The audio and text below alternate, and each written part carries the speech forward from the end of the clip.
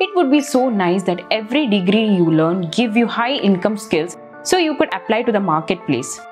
So, people who are looking for a secondary source of income must have definitely heard about trading as a side hustle or like a full-time career.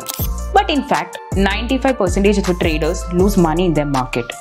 Now it's not because they don't make profits, but due to lack of discipline, risk management and position sizing. This happens because people enter the market without basic knowledge, education and guidance.